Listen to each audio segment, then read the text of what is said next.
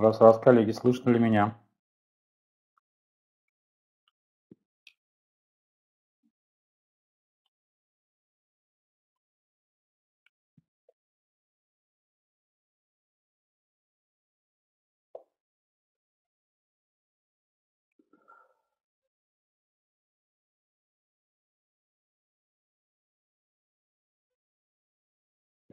Да, коллеги, всем добрый вечер. Действительно, давайте начнем. Хотелось бы начать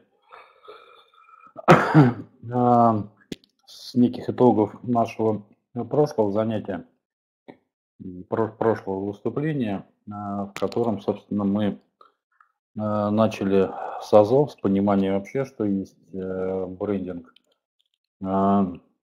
Поговорили, собственно, о коммуникационных задачах э, брендинга в бизнесе.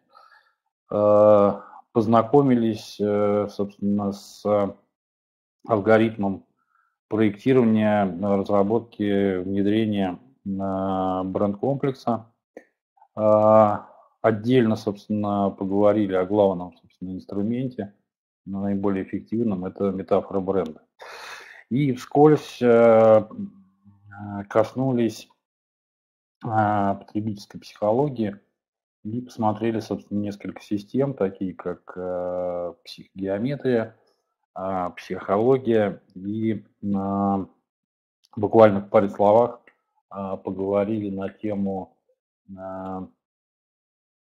методики психии, разработанной э, нашими партнерами по высшей школе брендинга. Это компании «Психея», Олег Клипиков и Алексей Муразов. Сегодня мы еще, э, собственно, к этому вернемся. Вот. Э, мне показалось, что гораздо эффективнее, собственно, будет э, наш второй день, второе занятие, прежде всего посвятить инструментам создания и внедрения сильных брендов, которыми как раз хотел с вами поделиться. Считаю, что это гораздо более интересно, нежели, рассказывать о э, созданных э, кейсах, вот, потому что действительно инструментарий актуальный и э, достаточно живой, которым мы пользуемся как консультанты, собственно, практически каждый, каждый день.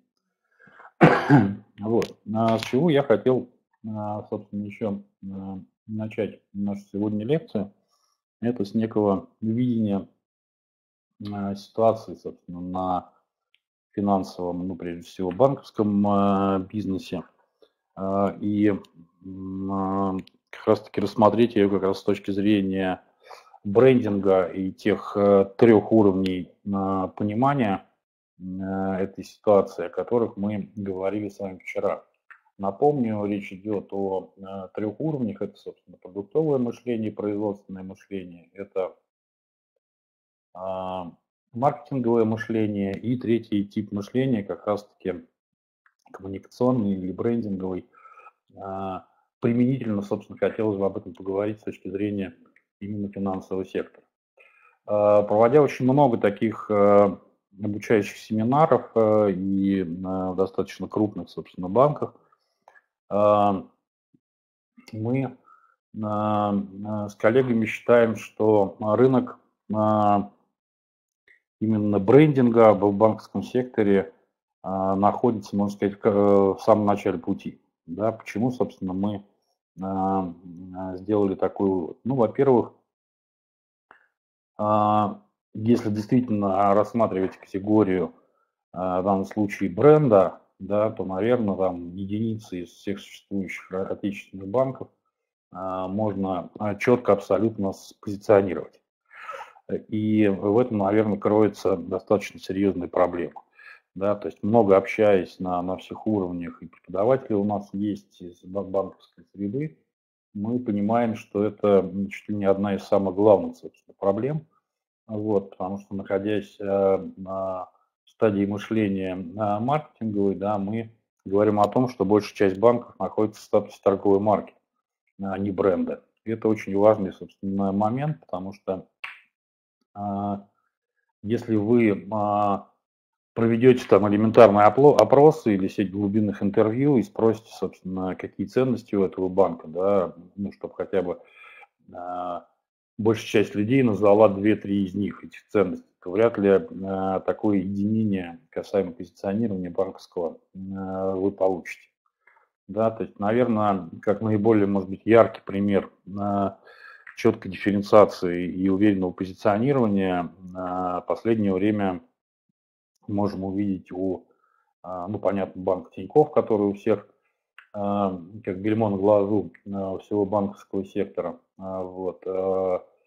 На мой взгляд, очень эффективно, собственно, работает банк открытия и тоже очень понятно разговаривает со своей аудиторией, как раз-таки точно выстраивает коммуникационную составляющую. Вот, и то есть это как раз те примеры, которые положительные. В основном, если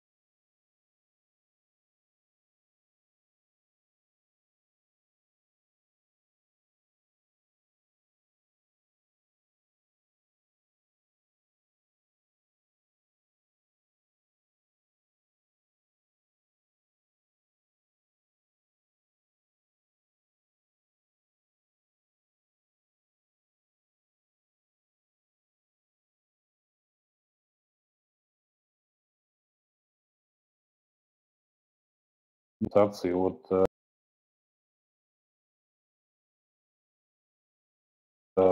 других э, банках.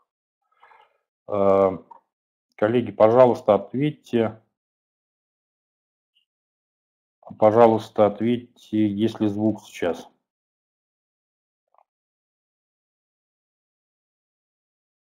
Раз, раз, раз, раз. Все ли хорошо у нас, все ли слышно ли меня?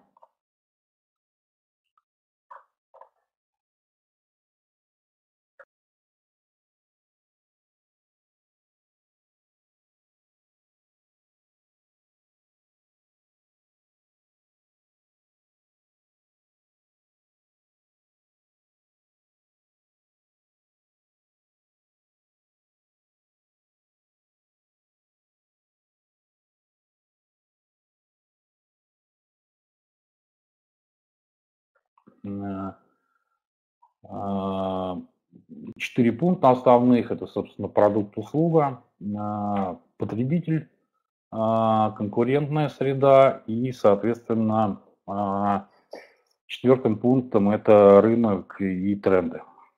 Все эти четыре позиции мы изучаем, опять же таки, определенным образом, целенаправленно для создания уже не маркетингового позиционирования, как мы с вами говорили, а позиционирования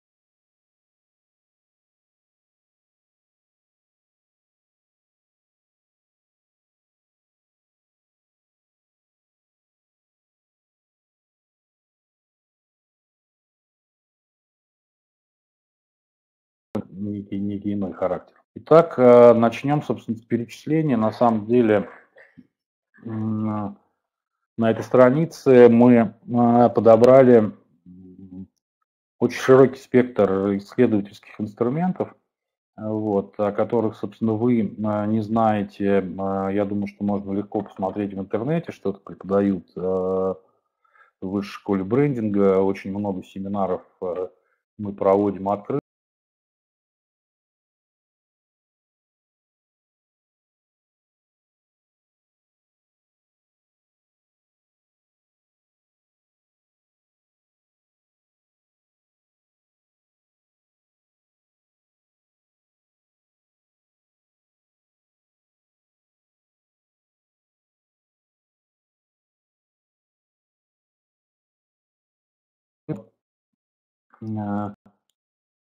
Исследование это прям какая-то невообразимо сложная вещь, которой обязательно занимаются крупные там диссечерские агентства. Вот. Э, на мой взгляд, э, этих инструментов гораздо больше, нежели мы привыкли, да, зачастую использовать анкеты или фокус-группы. Вот. На самом деле их действительно очень много.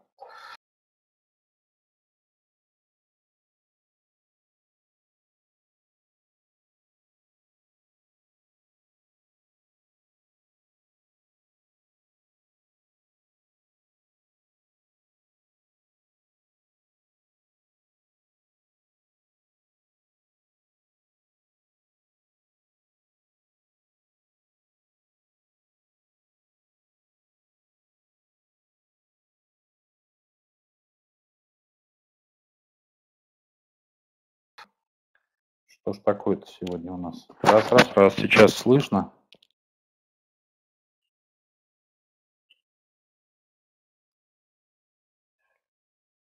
Раз, раз. Да. А, наблюдение. О чем а, хотелось бы а, сказать а, в защиту, собственно, дан, данного способа исследования.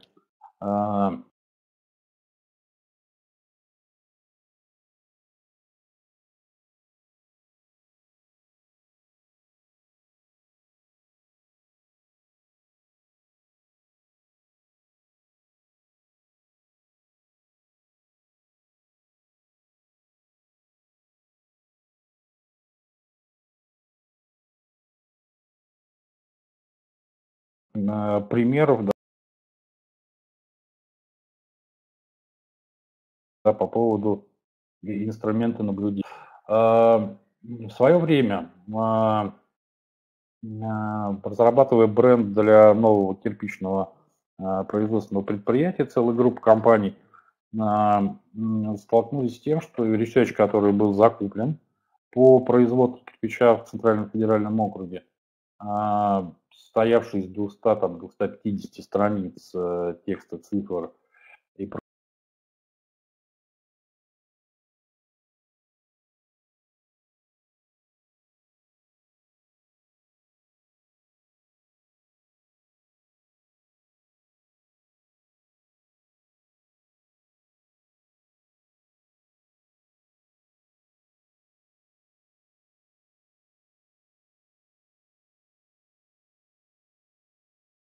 вместе, да, ну, глубинное интервью мы проводили на, на всех уровнях принятия решения в компании, плюс э, потребителей.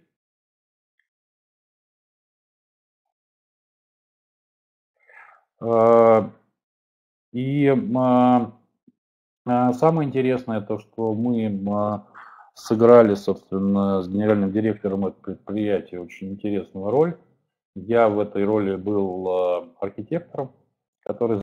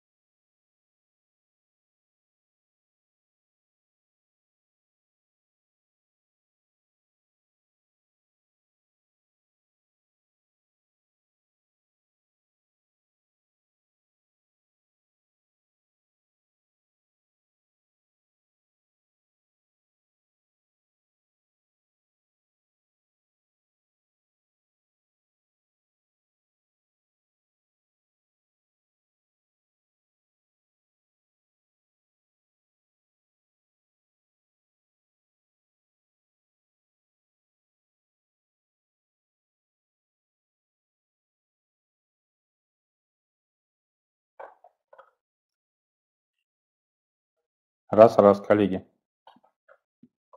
Все ли сейчас нормально?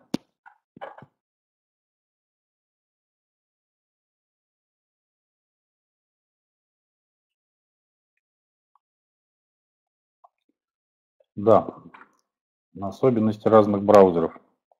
Отлично, давайте продолжать. Так, еще раз повторюсь, говорили мы про исследования.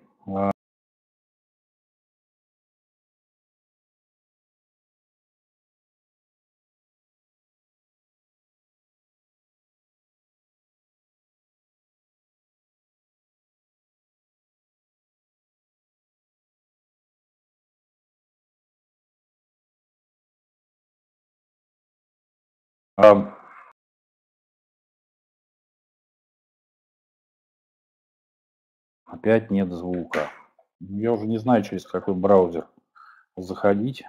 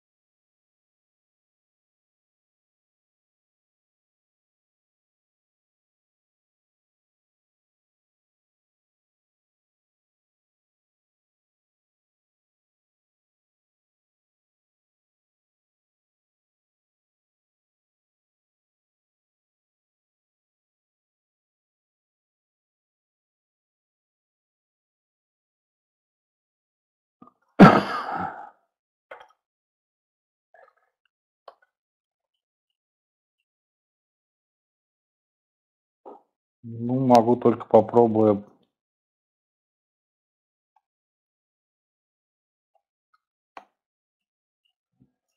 Попробую Safari.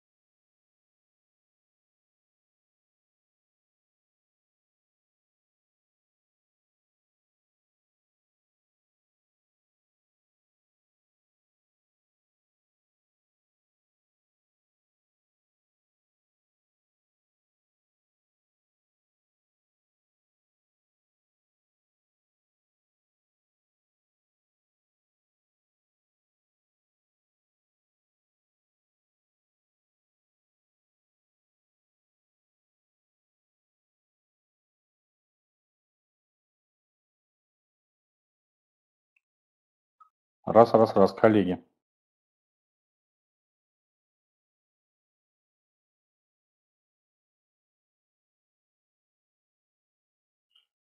Ну, надеюсь, что меня слышно. А, Наконец-то. Третий браузер заработал. Окей, давайте тогда еще раз повторюсь да, про способ наблюдения. То есть что было сделано при, после изучения, собственно, никому не нужных данных и цифр, мы действительно, перенарядившись, собственно, заказчиков, с крупным запросом на кирпич, посетили практически всех производителей, все дилерские центры, которые есть на территории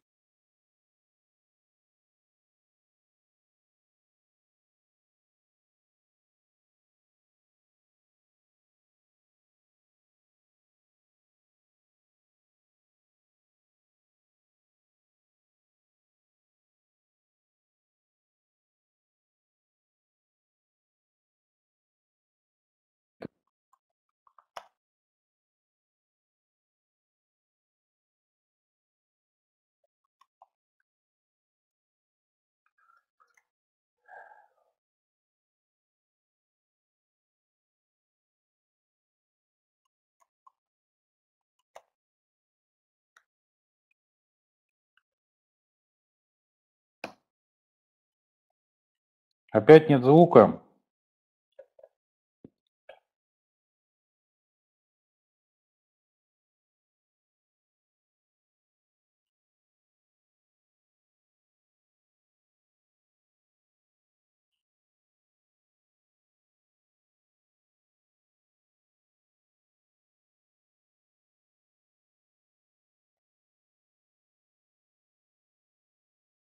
Но обрывками, конечно, не пойдет. Уже испробовал внутри браузера. Слышно так, алло, алло.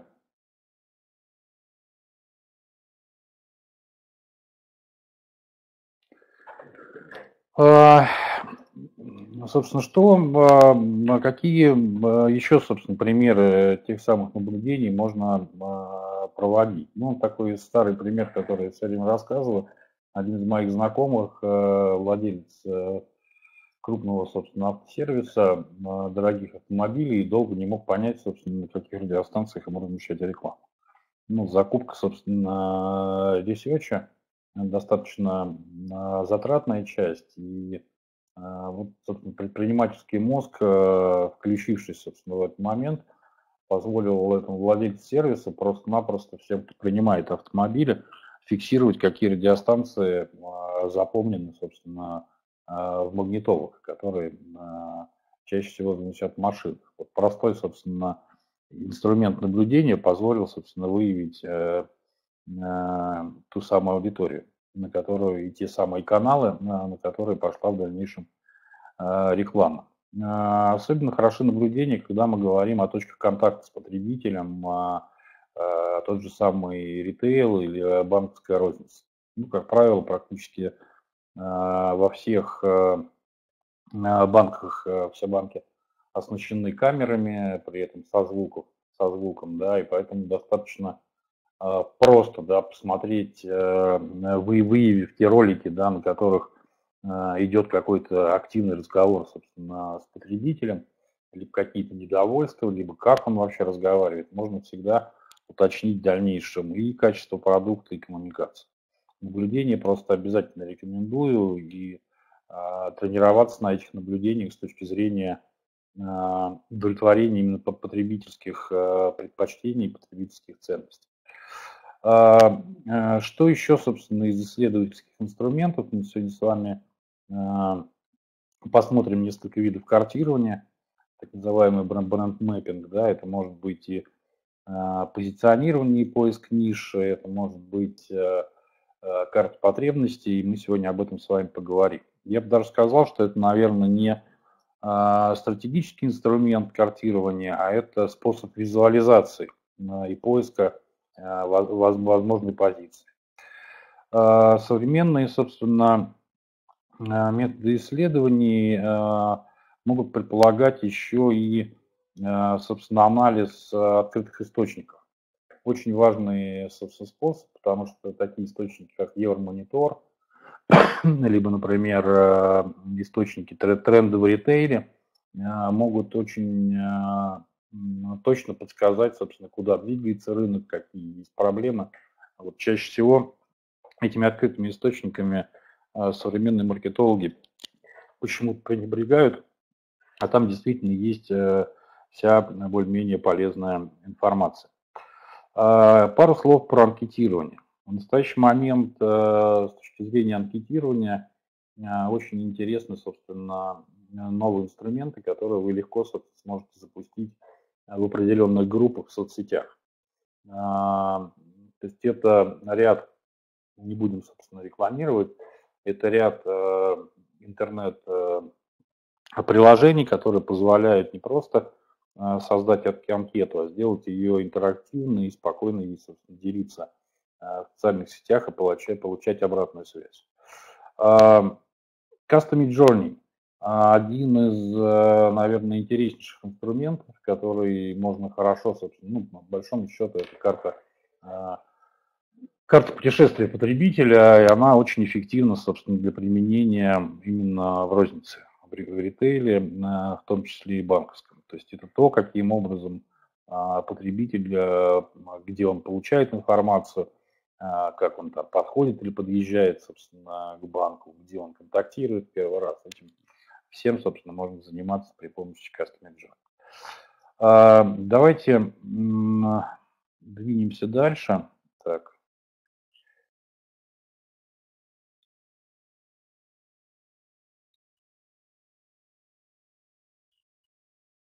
Меня слышно, коллеги, потому что у меня, по-моему, опять все повисло.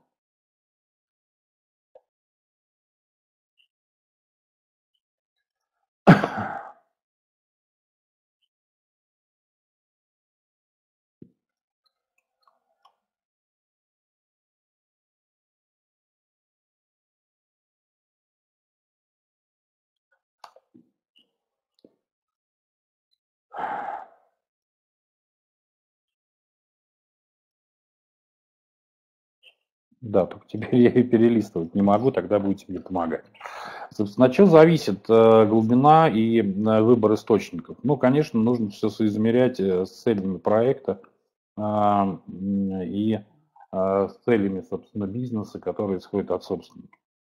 Да, потому что очевидно, что когда все-таки мы говорим про некое целеполагание, зачем мы это делаем, отсекается э, куча ненужных телодвижений, и всегда, собственно, есть возможность сравнить э, риски и понять, какими исследовательскими инструментариями нам лучше пользоваться эффективно. А, собственно, очень важный аспект, это пункт 2, это имеющаяся экспертиза. Зачастую этот способ, а это способ исследования, многие очень забывают. А на рынке огромное количество, ну не огромное количество, это я, конечно, преувеличиваю, но достаточное количество э, экспертов, да, часть из них сосредоточена в брендинговых агентствах, много частной экспертизы. Вот. Э, и на стороне бизнеса а, тоже достаточное количество экспертов, с которыми всегда а, а, можно посоветоваться, да, потому что если вы выходите там на рынок, который для вас неизвестен, там всегда есть много подводных камней, и методом экспертизы можно совершенно нормально, собственно, такие вопросы решать. А, собственно, от чего еще зависит глубина выбора источников? Это, собственно, какая точность необходима. Помимо целеполагания, всегда перед тем, как проводить исследование, необходимо понять, насколько глубоко мы это исследуем, да, какая выборка этого исследования, а, вот, и насколько это необходимо. Ну и, собственно, здесь же это образ мышления а, владельца, потому что опять же таки, в зависимости от того, а, кто возглавляет бизнес или там этой группы топ-менеджеров, нужно понимать, каким образом они привыкли получать информацию для того, чтобы им ее эффективно доносить. Ну и, собственно, имеющееся время исследования, опять же таки, мы с вами говорили, что стратегия брендинга, стратегия маркетинга за последнее время претерпела изменения и стала более оперативной. А, то есть, если раньше мы планировали на три года, а сейчас там максимум на полтора, то имеющееся, опять же таки, на research время тоже имеет определенное, определенное значение. Звука опять нет. Я не знаю, что с этим делать.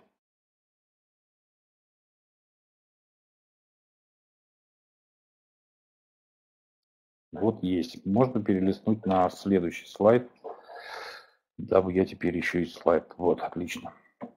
А, собственно, по поводу того, как мы изучаем, и а, как раз-таки проговорить э, те вещи, да, те исследовательские инструменты, которые наиболее эффективно по нашему опыту а, могут вам пригодиться. Собственно, как изучаем? Начнем, собственно, с бизнеса. И а, а, здесь э, наиболее эффективным инструментом как раз-таки является глубинный интервью скор, а, где мы его сегодня с вами вкратце основные принципы изучим. То есть если говорить, как, как это происходит, то он, собственно,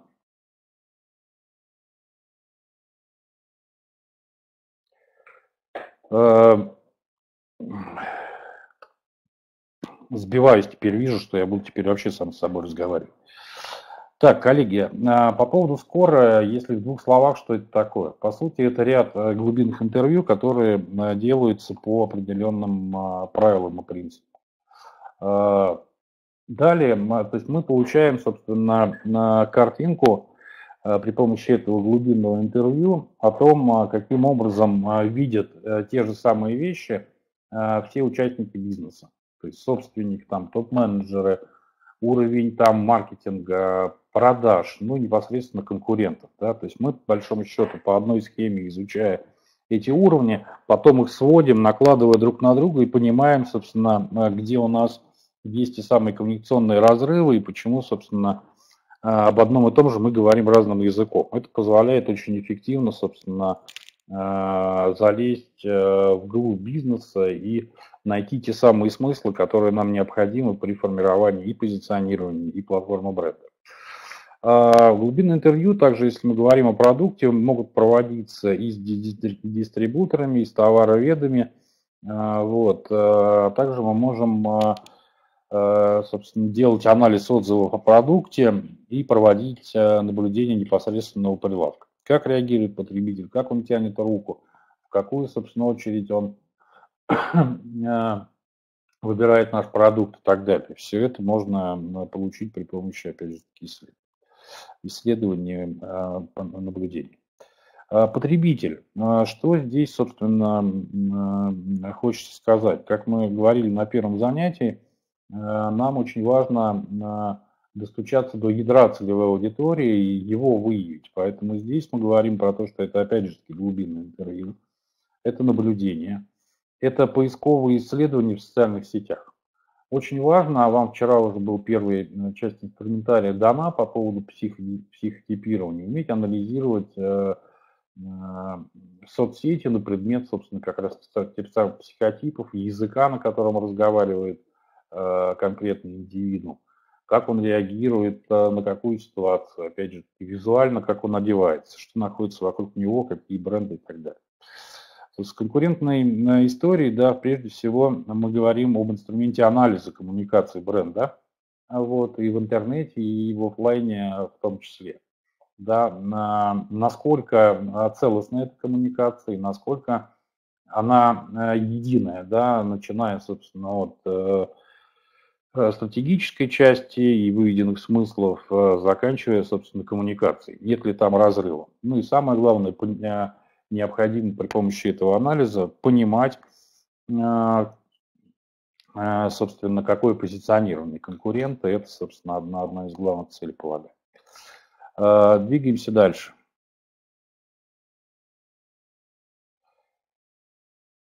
Коллеги.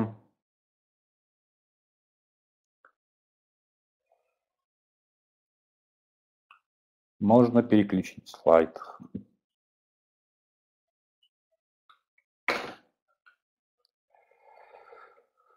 Итак, собственно, э, что есть э, модель глубинного интервью Score э, и как мы его рассматриваем как глубин, инструмент глубинной диагностики бизнеса.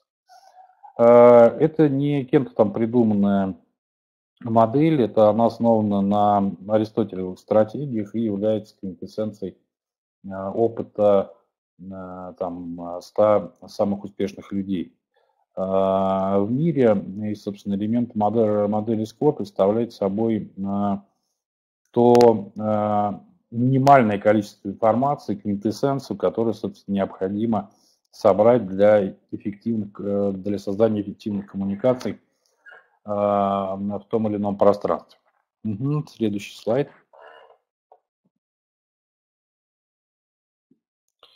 Собственно, объект диагностики, что мы прежде всего диагностируем? Первое – это внутренняя целевая аудитория. То есть это собственники компании, это топ-менеджеры на разных уровнях принятия решения, и это ключевые специалисты, которые являются основой. Отлично. Все появилось. И внешней целевой аудитории – это, собственно, конечный потребитель, представители товаропроизводящей э, цепочки, эксперты – и конкурентная среда. Всех их по одной, собственно, модели мы можем спокойно тестировать. И э, сейчас, собственно, мы поговорим про а, уровни да, этой глубинной диагностики. То есть глубинная диагностика внутренней целевой аудитории. Цель этой диагностики, собственно, синхронизировать э, видение будущего бренда внутри компании на всех уровнях принятия решений. А, первый уровень, собственно, собственник. Второй уровень, как раз мы смотрели с вами пирамиды, топ-менеджеры, а, генеральный директор, финансовый директор и другие направления в бизнесе. И третий уровень, собственно, ключевые специалисты, бренд-менеджеры, маркетинг, отдел продаж. Результаты, собственно, проведенной диагностики э, и являются основой для а, платформы бренда.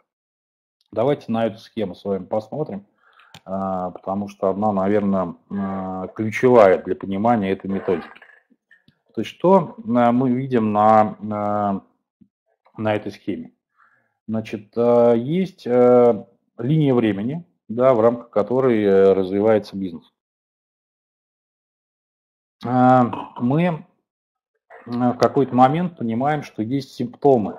Находясь в настоящем, да, мы понимаем, что есть симптомы, когда там может произойти там, падение продаж, например, да, либо а, то есть э, какая-то проблема, да, которая беспокоит бизнес. Не зря, собственно, там а, появляются консультанты. И симптомы как раз-таки, они находятся в настоящем, в том времени, в котором мы находимся сейчас. Для того, чтобы правильно понять, э, почему болит, да, нам необходимо как минимум э, вернуться в прошлое и определить причины этих симптомов. Зачастую э, их никто не определяет. Ну, там, давайте как э, пример возьмем там, болезнь, например, насморк. Заболел человек, у него потекли сопли. Симптомы настоящим текут сопли. Мы зачастую, не возвращаясь назад, не понимая причину, не сдавая анализов, пытаемся, собственно, применить наш ресурс во времени, да, купить быстрое какое-то средство, закапать его для того, чтобы а, получить результат.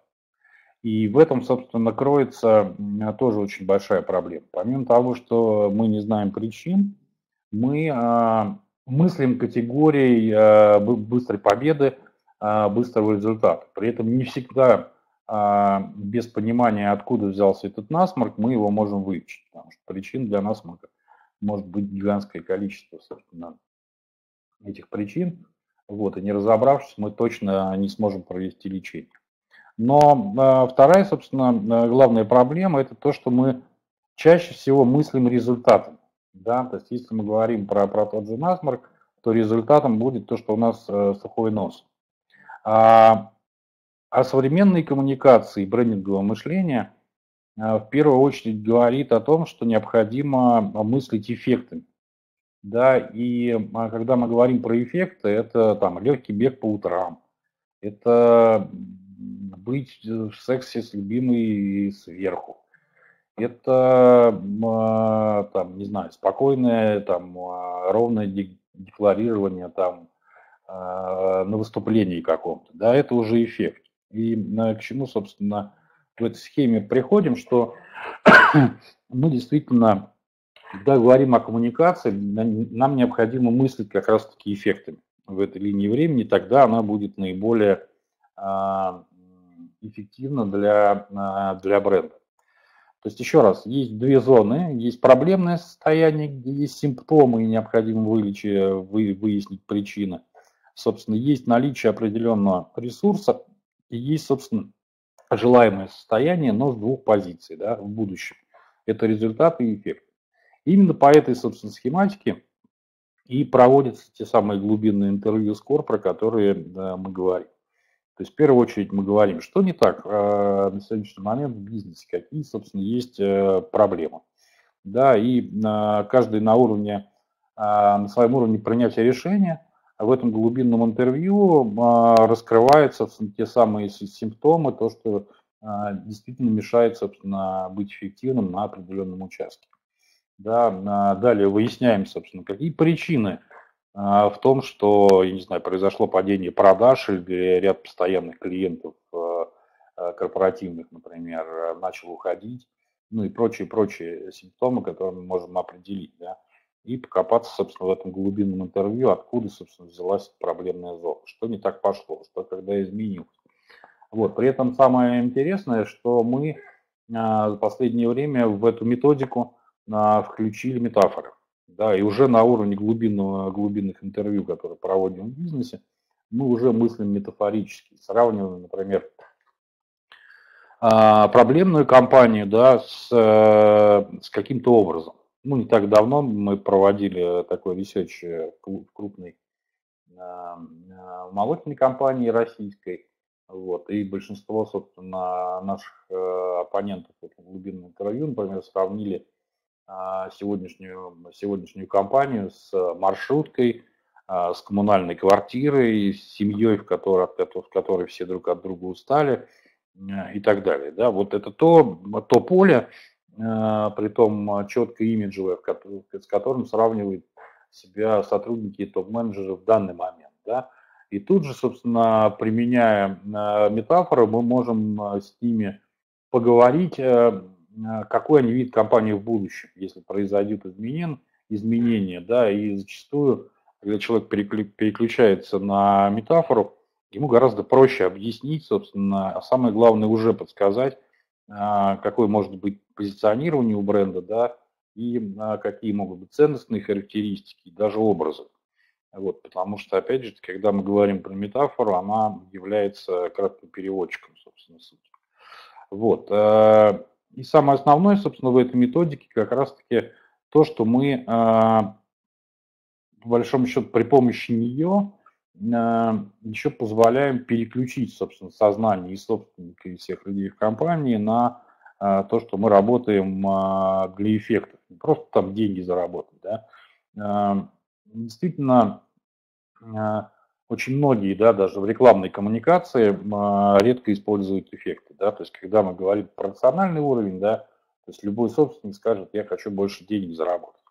Вот, когда мы говорим про брендинговое понимание, то эффект – это как раз-таки та, тот целостный образ, который является э, не просто более притягательным, да, а как раз-таки приносит те самые эмоции, которые э, создают бренд. Вот такой принцип, да, и здесь еще, э, собственно, есть описание последовательности проведения интервью. Но я думаю, что мы не будем все это с вами читать, а вы получите презентацию и а, собственно, отдельно почитайте, какие э, шаги необходимы, какими шагами необходимо а, пробегать, когда вы проводите это глубинное интервью. Несколько слов от себя. Ну, первый момент э, для эффективности нужна какая-то, а, ну, приватное какое-то пространство. Да, лучше всего, если это будет не офис, куда вы приезжаете, а все-таки какое-то там уединенное место, которое отвлекает от э, э, ситуации э, офиса вот, и нахождения в конкретном бизнесе. Вот. Понятно, что должны, собственно, быть там отключены телефоны и исключена возможность отвлекаться. Третий момент. Очень хорошо работает глубинное интервью когда а, вы, а, а, разговариваете с двумя оппонентами, и всегда можно, собственно, устраивать между ними определенные перепалки, рассуждения. Это очень хорошо, собственно, позволяет разговорить э, респондента и получить респондентов, и получить более достоверную информацию. Как правило, в результате глубинного, глубинного интервью занимается два человека, потому что один человек э, наблюдает а, и фиксирует реакции, в том числе физиологические людей на определенные вопросы. А, а, а второй, собственно, фиксирует результаты и по очереди, собственно, задаются вопросы. Как правило, э, такие глубинные интервью проводятся от э, часа времени. Вот, иногда, собственно, приходится и по два, и по три часа общаться, потому что действительно мы с самого начала даем неправильную информацию, чисто психологически порой пытаемся а, не то чтобы запутать, да, а оказаться лучше, например, и, и прочее, да. А, то есть в этом случае просто мы рассматриваем а, проведение интервью как некое психологическое исследование, и зачастую мы действительно являемся где-то даже психотерапевтами потому что, как э, мы говорили на, на прошлой лекции, что на суть бизнеса, на те процессы, как проходят в компании, могут влиять и семейная жизнь с разводами, да, и, например, ребенок, который работает в компании, ну, это тоже является частью тех смыслов, которые нам необходимо синхронизировать. Ну и, собственно, структура интервью, это вы все отдельно почитаете, потому что здесь как раз-таки заданы те вопросы, да, на которые необходимо отвечать. И вот оранжевым выделено как раз-таки а, для чего мы это делаем. Да? То есть выявление проблемного состояния видения будущего с точки зрения представителя компании – это, собственно, первая позиция восприятия. Да, и помечено, собственно, где симптом, где причина, где эффект. Каков, собственно, будет результат, каков будет э, эффект от наших действий, каким ресурсом нам необходимо воспользоваться. В общем, я не буду останавливаться на, на структуре, да, это вы отдельно почитаете, и надеюсь, э, что э, у вас получится этот инструмент применить. Давайте перейдем к психологии а, потребителя, к психографике, отдельным методом картирования и э, шкалирования. Да. С вами вчера, позавчера, вернее, мы только а, очень поверхностно коснулись этого инструментария. И сегодня я, собственно, помимо очень простой модели э, с э, совмещением психотипов и психогеометрии, а, мы с вами посмотрели, собственно, как может устраиваться коммуникация. Поговорили, собственно, о каждом, о каждом из психотипов. Это самая простая модель, вот, но а, достаточно эффективная. Вот. А, вот этот слайд повторно поставил и очень хочу, чтобы вы обратили на него внимание, потому что он как раз-таки является такой квинтэссенцией, при этом на, на примере на банк, банковского сектора. Да, то есть что происходит на этой схеме? То есть это та же самая модель, да, на, как и предыдущая, вот, э, но здесь показаны, собственно, четыре вещи. Да, это, собственно, потребности клиента, что он хочет от нас получить, э, как он воспринимает информацию, которую мы передаем, а каким образом, собственно, он осмысливает информацию, какая логика а, его а, мышление, да, и что важно, собственно, подчеркнуть в коммуникациях. И, собственно, принципы принятия решения, как, как он принимает решение и где мы, собственно, можем, опять же таки, повлиять на, на это решение, на его скорейшее эффективное принятие этого решения. Посмотрим, да, повнимательней, то есть когда мы говорим про вообще сектор, э, вот эти сектора, очень интересно, вам сейчас дам статистику.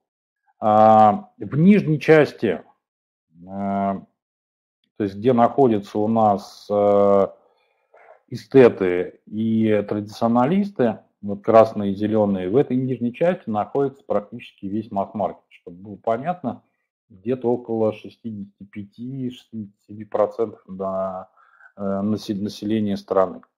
Да, и а, а, движение в сторону а, эстетов, вот этих вот зелененьких, да, позволяет как раз, то есть э, база, естественно, находится в традиционных ценностных характеристиках, традиционалистах, и там большинство. Но когда мы говорим про эстетов, это категория, которая позволяет, внедрив бренд, работая, собственно, на этом чувственном уровне, повышать стоимость и давать, собственно, за счет брендинга создавать ту самую лояльность да, при перемещении вот в этот сектор. Еще раз, внизу да, более 65% рынка потребителей а, вот, то есть э, сектор независимых наших синих это примерно процентов, наверное, 7 или 8. Все остальное, собственно, это гедонистическая аудитория, которая требует, собственно, инноваций. Посмотрите, как, э, собственно, меняются и различаются структурно эти четыре психотипа. Э, то есть, если мы говорим о том, что собственно, потребности клиента какие, да, у гедонистов. Это, собственно, а, удовольствие находится здесь, это постоянная новизна, обновление предложений, это статусность, да, а, причастность э, не просто там к чему-то, да, а именно получение вознаграждения за а, что-то сделанное, такая оценка.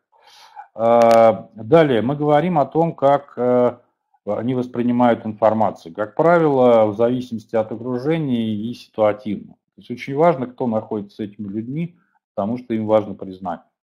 А, как правило, информацию они а, получают и постигают бесструктурно а, и поверхностно, схватывают на лету. Именно поэтому в этой категории очень много ярких, кричащих образов, которые, собственно, эффективно работают для этой аудитории.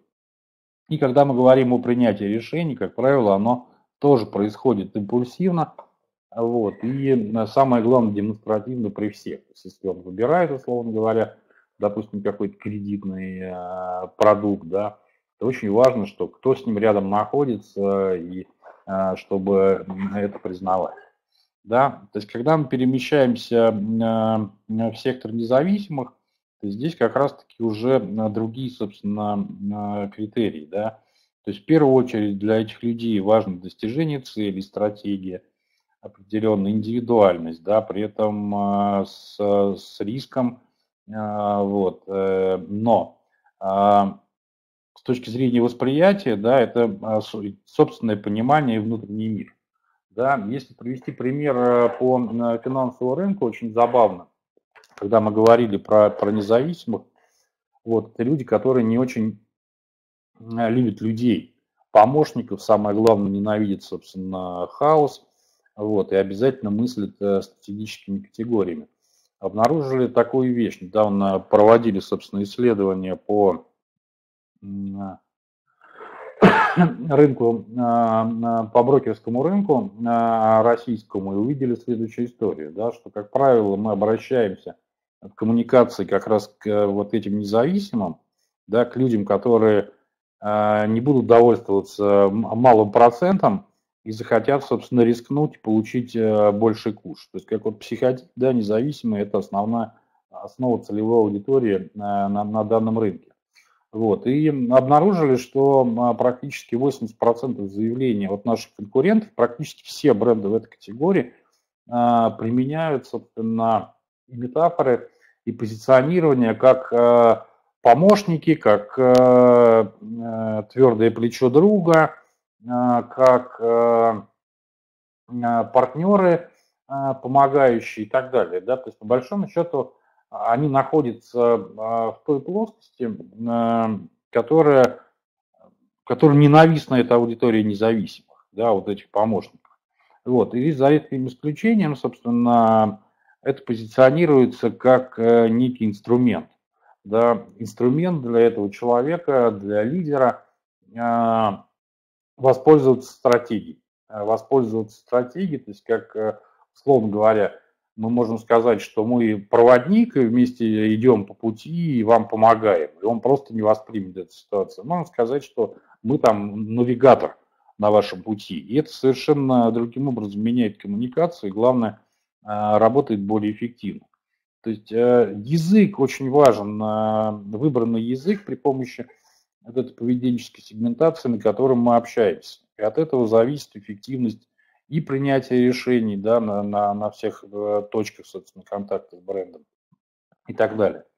Да, а, посмотрите в нижнюю историю, да, где находится масс-маркет, где находятся наши красные а, товарищи, да, что там получается. А, в первую очередь э, для них важен, важен контроль, власть, стабильность, э, порядок и постоянство. Да. Когда мы говорим, что может повлиять, собственно, на их решение, как они воспринимают информацию. В первую очередь нужны, нужна конкретика, нужны подтверждающие а, факторы, а, вот, и, а, собственно, подтверждение общества, тоже важная история. И, собственно, каким образом осмысливается информация. То есть некая псевдологика, застревание в определенном месте, поэтому здесь как раз-таки важны вот эти вот социальные подтверждения, да, что мы с вами уже 20 лет, 8 миллионов являются нашими клиентами, и это очень хорошо работает на убеждении данного психотипа. И, собственно, как они принимают решения, как правило, с оглядкой на норму общества. Вот. Очень важно для вот, э, целостного языка общения с этой аудиторией учитывать эти факторы. Собственно, и на следующая категория у нас эстетов. Да, здесь как раз-таки важны чувства, эмпатия, забота. Вот. Э, как э, осмысливается информация? Как правило, это некие общие категории без э, структурной, да, схватывая, собственно, на лету, чувственно понимать о чем. Да, а здесь же, собственно, для них важна принадлежность, защищенность, некое миролюбие. Вот. И, собственно, ситуативно а, принимается решение, да, потому что от этого зависит, там, может зависеть там, настроение, там, или, а, ну, очень много факторов чувственных, которые влияют на принятие решений. В принципе, если мы создаем здесь коммуникацию а, о заботе о человеке, с пониманием, собственно, его ценностей, она плавная, мягкая, не, не будоражит никого, не кусает, то она там будет воспринята. Вот очень важно для понимания, собственно,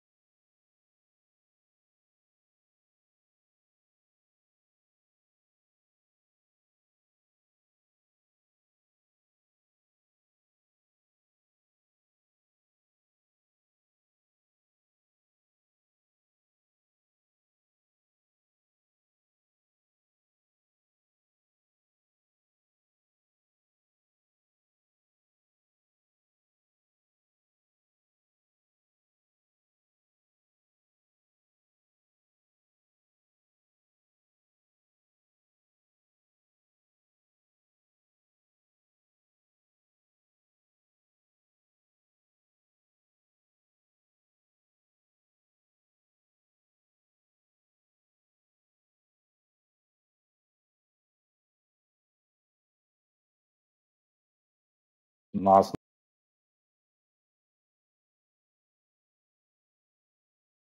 основу бренда, связывая продукт с потребителем, то можно как минимум еще использовать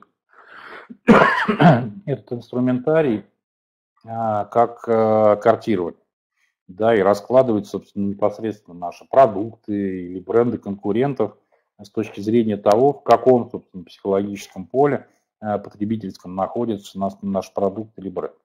А, вот, это совсем сложная система, но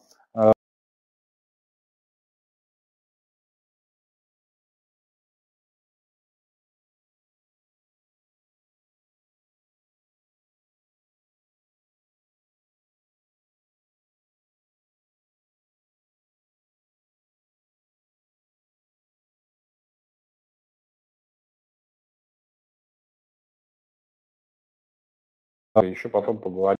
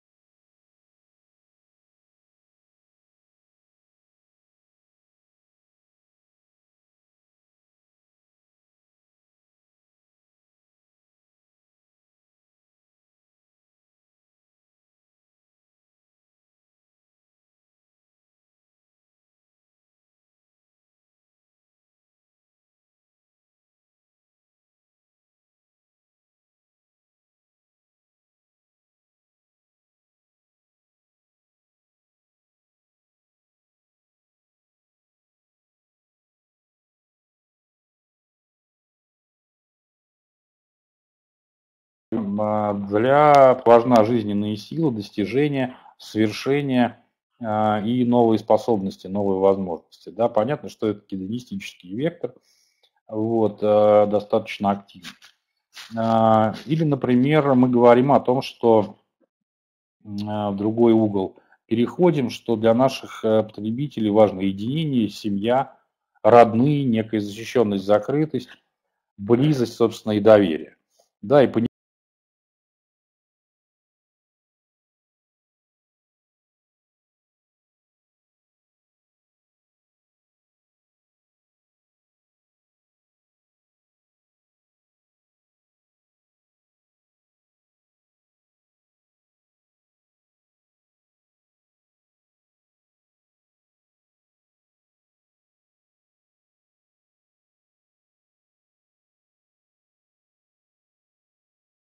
запретными или неработающими. Да. Еще раз повторюсь, да, что когда мы с вами рассуждали про коммуникации и дизайн, вот, и вы видели, собственно, увидели вот эту вот э, вещь первый раз, очевидно, да, что э, коммуникации для гедонистов, для независимых вообще никак не подходят. А традиционалисты ненавидят гедонистов и независимых, вот, поэтому то, что мы говорим для них, опять же не будет подходить сюда. А какие-то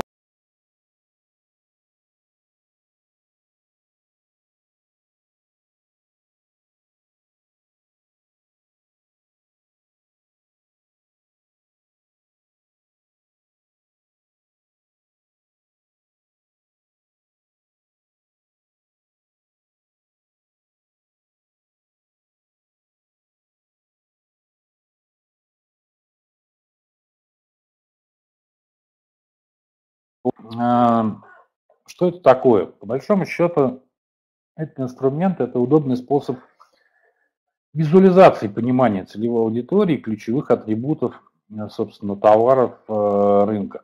Используется, собственно, для наглядного рассмотрения восприятия бренда и позиционирования конкурирующих брендов. Одно, собственно, основных преимуществ карты позиционирования – это возможность как раз-таки легко найти свободную рыночную нишу и закрепить товар, а, дифференцировавшись от э, конкурентного окружения. Давайте просто, ну, значит, в чем заключается смысл картирования? Значит, первое – это, собственно, четыре точки дифференциации.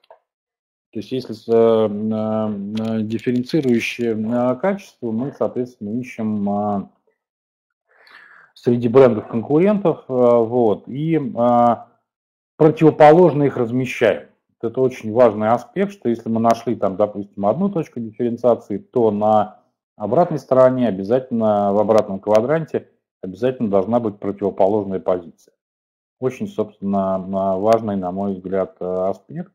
Вот. Ну, давайте просто взглянем, например, там, на пример этой двухосевой модели – на самом деле они есть и 3D-модели, и там 8-осевые, но мне кажется, это все усложнения, которые неэффективны и чаще всего непонятны ни, ни собственнику, ни, ни маркетингу, вот, и только запутывают. Ну вот э, мы посмотрим, собственно, каким образом выстраивается карта позиционирования в автомобильных брендах.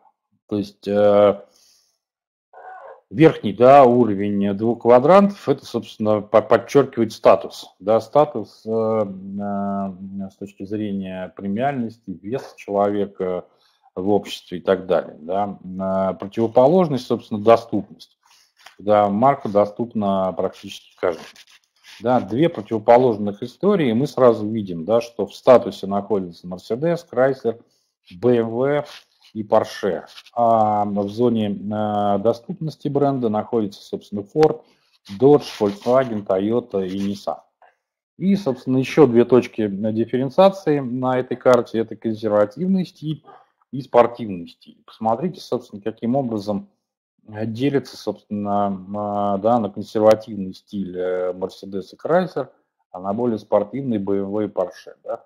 То есть уже, когда мы имеем, собственно, подобное картирование, например, имея определенную, определенную марку или бренд автомобиля, мы уже понимаем, собственно, где более конкурентные поля этих квадрантов, где менее конкурентные поля. А, вот. Э, что еще важно при использовании, собственно, вот еще один из примеров, это карта по зубным пастам, да, когда есть признак лечебная паста или гигиеническая, когда есть комплексное решение и специализированное. Да, и мы, собственно, тоже таким же образом раскладываем, собственно, наши бренды по этой карте. А, что важно для понимания а, для более эффективного картирования? Во-первых, ну, вопрос потребителей, потому что мы откуда-то должны получить подтверждение правильности нашего картирования и как он воспринимает, собственно, бренд. Это выявление ключевых э, параметров э, разделения продуктов и товаров, э, которые будут те самыми точками дифференциации. Да, потому что неважно там, возьмем там алкогольный рынок или там рынок воды, да, географические наименования или, например, глобальное позиционирование. Да, вот вам тоже две точки. Э, вот. Э, значит, э, понимание, что еще нам важно, да, это понимание положения каждого товара относительно друг друга по каждому параметру. Карта, как правило, пробуется не менее пяти вариантов, потому что очень важно, собственно, точно понять э, дифференцирующие свойства рынка и э, при помощи анализа, собственно, коммуникаций э, брендов. Выбор наилучшей карты позиционирования, ну, по большому счету, да, когда мы пять разных вариантов попробовали, выбираем наиболее оптимальный вектор. Собственно, какие главные вещи нужно учитывать? Спрашивать потребителя, смотреть на факты, не приукрашивать положение компании пробовать, собственно, несколько альтернатив для выбора наиболее Э, наиболее подходящего. Здесь пример, собственно, одной из э, реальных презентаций, она немножко уже, может быть, устарела, потому что ну, ситуация на рынке поменялась, кого-то уже нет, но в целом показывает, как эта карта строится. То есть у вас сейчас на экранах, э, по сути, выжимка квинтэссенция позиционирования конкурентной среды. Это косметические розницы на российском рынке. Да, и мы, мы смотрим, собственно, каким образом мы выделяем то самое позиционирование. Да, что если мы говорим там про Ревгош, то вся вот эта цветастый а, бренд молодой, яркий, вариативный универмаг для всех. Да. А когда мы говорим про э, Ильдебате, вот, то этот бренд взрослый, уверенный, который четко заявляет, что я все знаю сама. Вот, и можно сразу, собственно, пощупать и саб-бренд, и аудиторию. Это не квинтэссенция после а, аудита коммуникации конкурентов и а, а, определение, собственно, как бы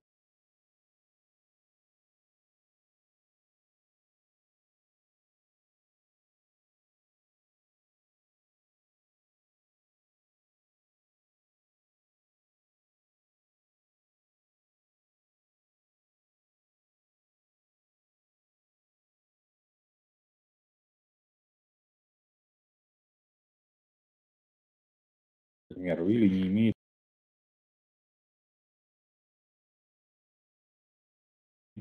а, четких признаков. А, что произошло при построении карты позиционирования? Мы а, определили четыре точки дифференциации. Первая, собственно, это лично для меня эгоистическая такая позиция. Вот. И вторая позиция противоположная все и для всех. Вот. А по горизонтали Соответственно, это молодая и яркая, вот, и зрелая и уверенная. То есть, когда мы взяли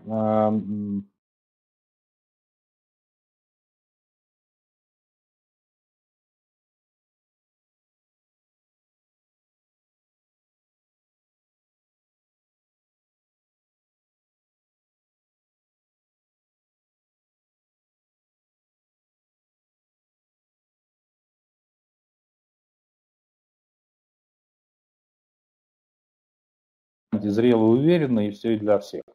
Ну, понимая,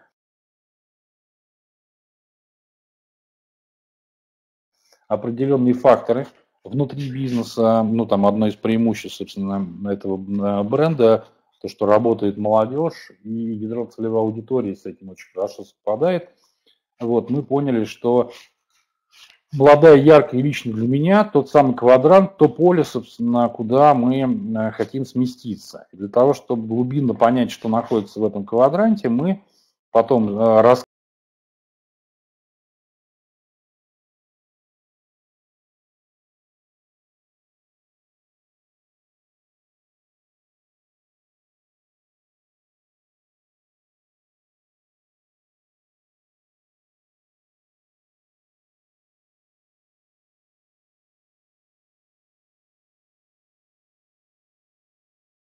одной из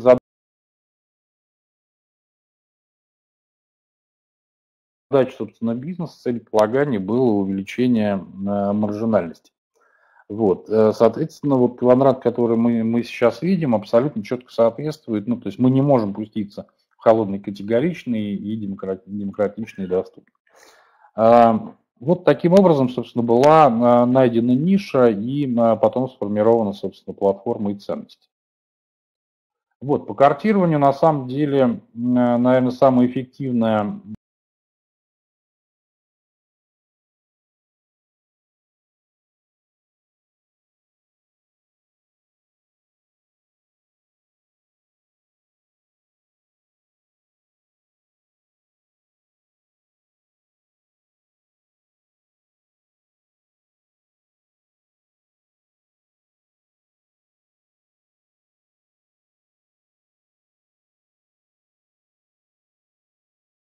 решений бренда, э, и при ее проработке э, четко описать, что делается визуальным языком, что не делается.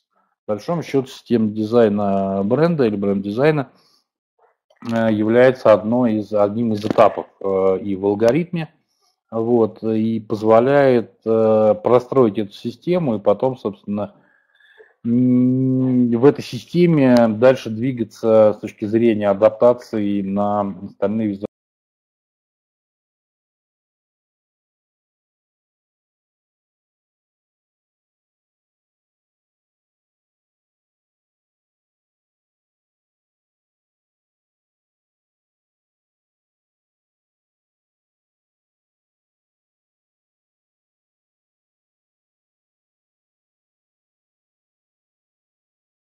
мы считаем, является Билайн. Да, потому что пример действительно не, не просто яркий, но и очень э, хорошо, собственно, эффективно применяемый э, вот, с точки зрения стандарта. Итак, в системе дизайна э, всего 6 элементов. Я все время рассматриваю систему дизайна как некий конструктор, да, который позволяет, э, ну, как в детстве у нас были конструкторы, да, там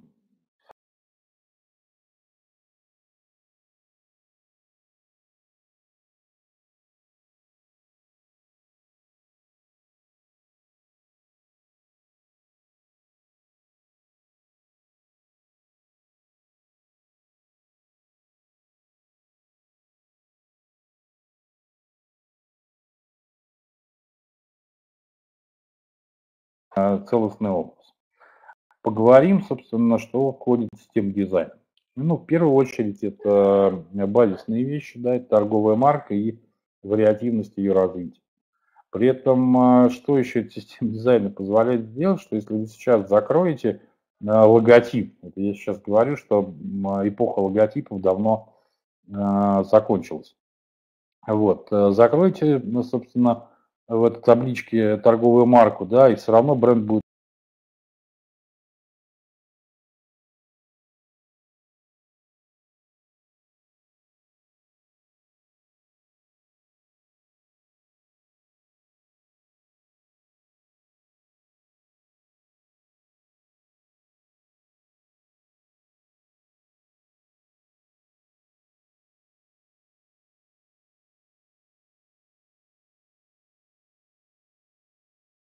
И очень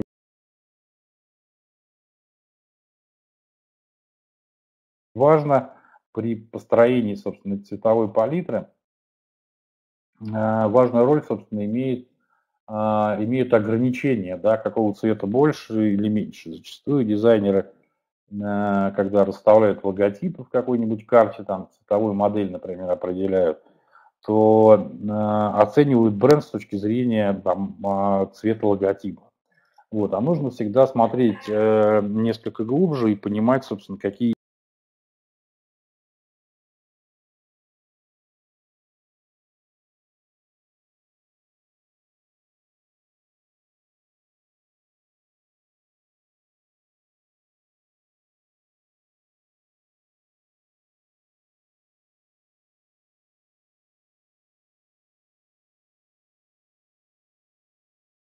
каких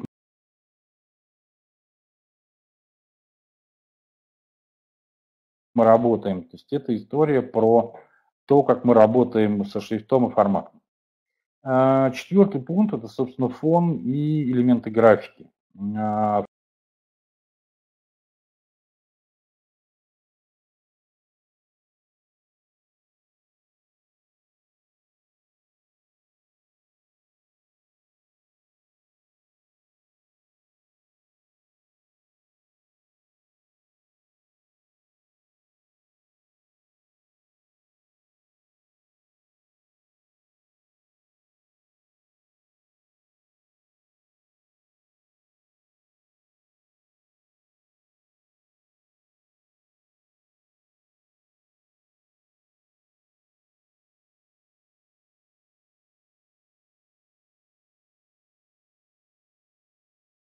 Не в системе. То есть эм, еще раз повторюсь, система дизайна – это совокупность шести основных э, элементов, да, и мы при разработке обязаны, так сказать, на берегу понимать, каким образом эти элементы взаимодействуют между собой, вот, и насколько эффективно это происходит. Следующая страничка, собственно, это применение системы дизайна и основные типы коммуникации. Как только мы определились это целостно,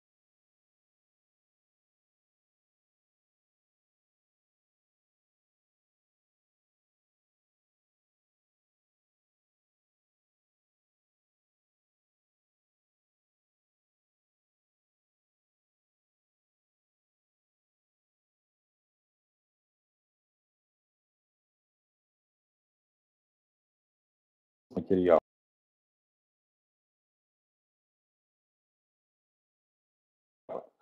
Экстерьер, пространство и транспорт, э, корпоративная продукция, расходные материалы, фирменная одежда, рекламно-информационный материал, шрифтовые носители, интернет-брендинг, да, цифровые носители, шрифтовые.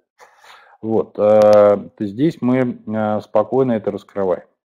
Ну, еще, собственно, одна система, которая была приведена, это недавняя наша работа по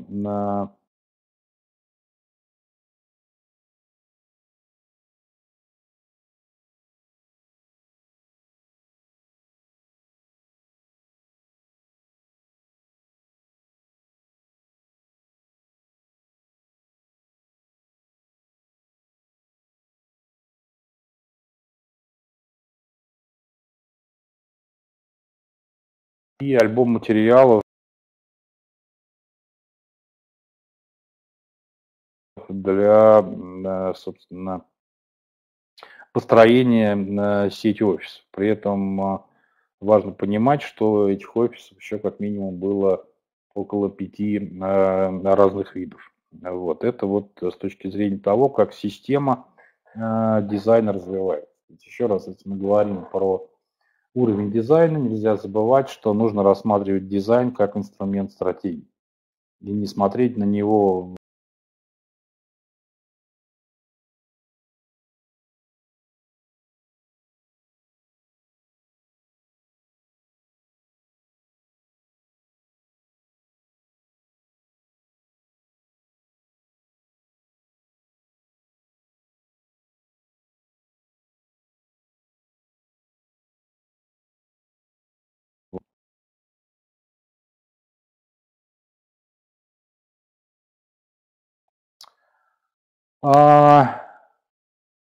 очень э, важное сейчас будет замечание.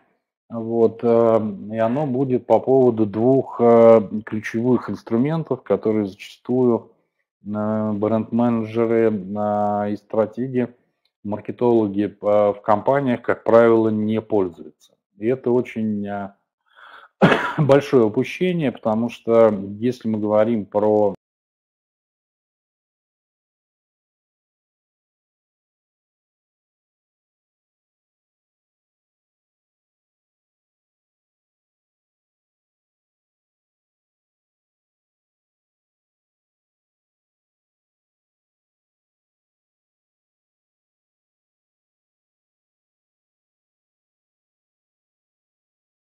собственно, инструмент это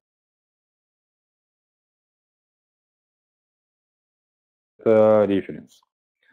То есть, если простым языком сказать, а, референсы – это конкретные примеры конкретной коммуникации. Да, и а, если мы, допустим, а, ставим задачу дизайнерам, агентству, там, неважно, фрилансеру, как договориться о единой позиции. Вот одна, один, собственно, из способов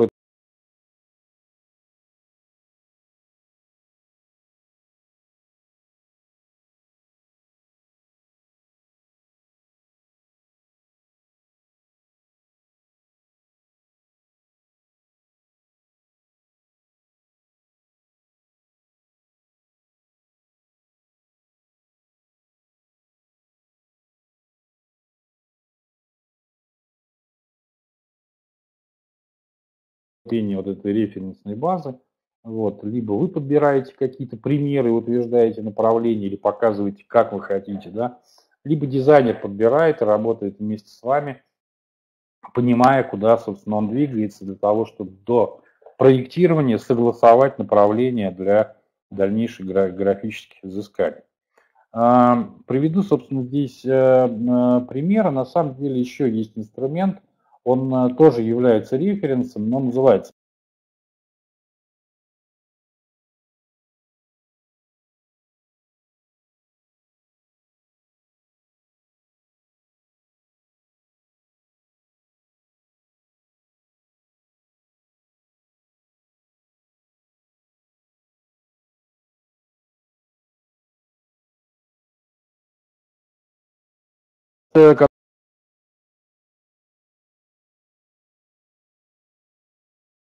который, опять же таки, нам э, в свое время очень эффективно э, помог решить, э, помогли решить те самые референсы, по которым мы сейчас говорим. А, известная в Москве сетка для развития, собственно, именно в сеть понадобилось, собственно, сначала стратегически,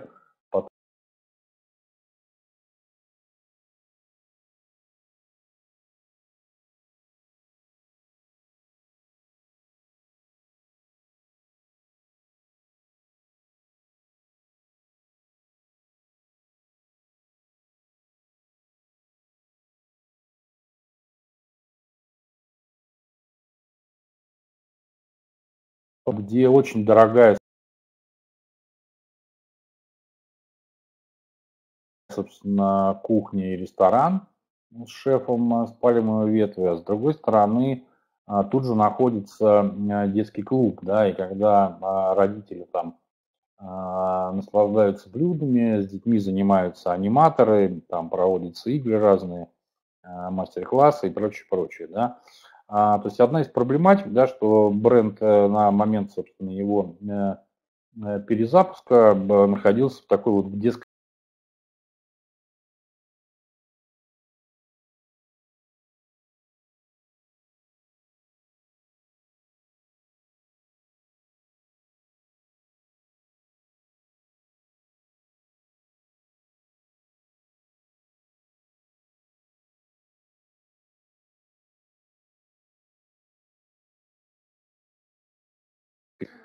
Вот.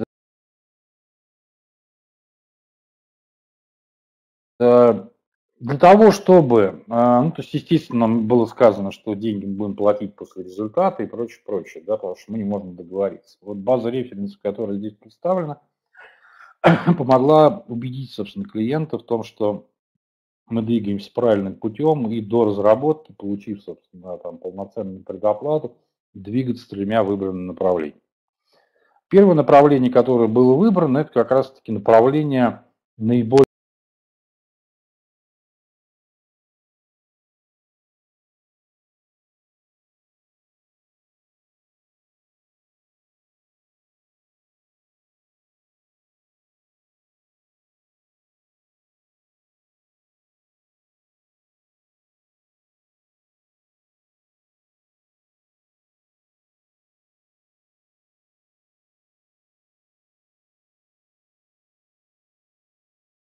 Смотрим просто, как, как это происходило. То есть была выбрана там категория, например, фирменный стиль и категория образ. Да. Мы с вами видим, да, что есть некие вещи, да, э, некие там три примера категории образ, да, которые абсолютно по-разному работают. То есть в первом случае там некий детский конструктор, да, здесь некий ракетный, собственно, космический город, вот, а Magic Mirror, Mirror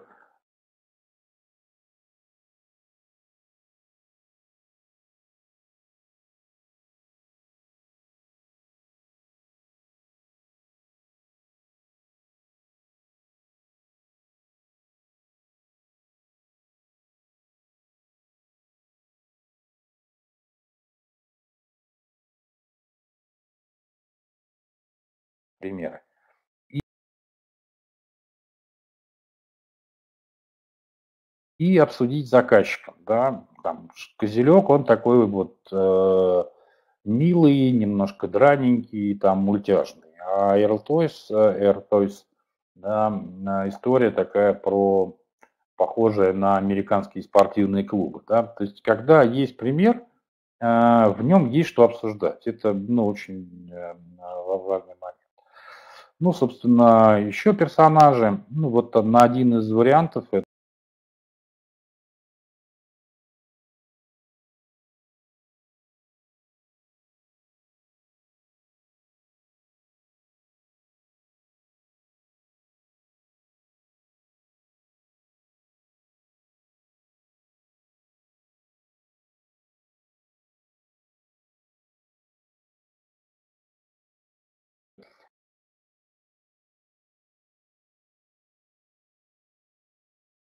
И самое главное, еще позволяет вытягивать вот из этого э, паттерна определенные тематики и делать на них акцент, когда мы говорим, там, например, мастер-класс там, про еду, или там какой-нибудь конкурс рисования, вот, или какая-то услуга, которую, собственно, оказывает э, Рибабиль э, своим клиентам.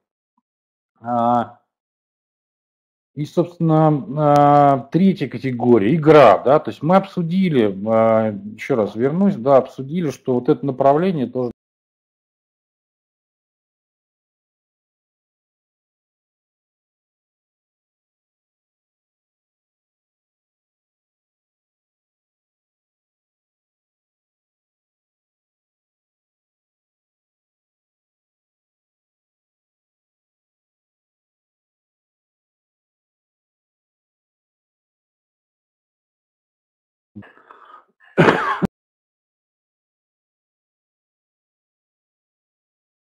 и необычные, собственно, шрифтовые сочетания. Здесь тоже энное количество примеров, да, которые мы обсуждали вот, э, и э, оговаривали, да, какой из вариантов, собственно, наиболее подходит к нам, обсуждали на конкретных видах коммуникации и принимали решения по направлениям. Да, то есть, э, что в результате? Да, в результате этой работы были определены три основных направления, по которым, да,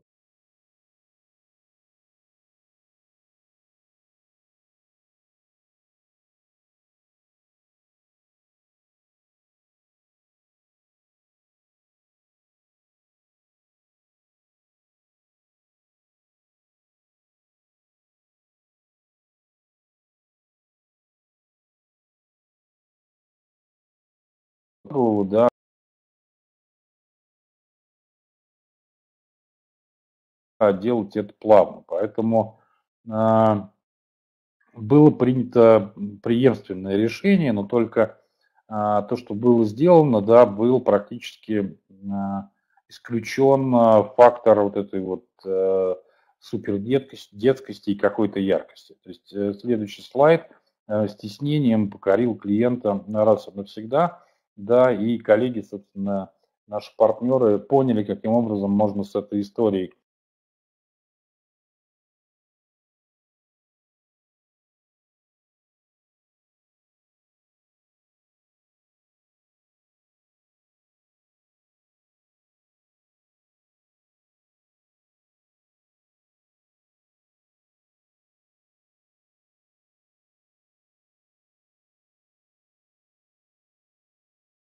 презентации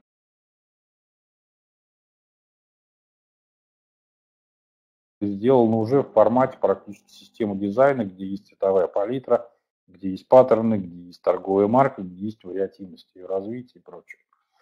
Да, а, то есть цветовая палитра, логотип э, в виде наклейки на всевозможные там и блюда, они очень много там всего пекут, всяких печеньев там в подарок. Вот. А, сувенирная продукция, раскрывающая, да, при этом обратите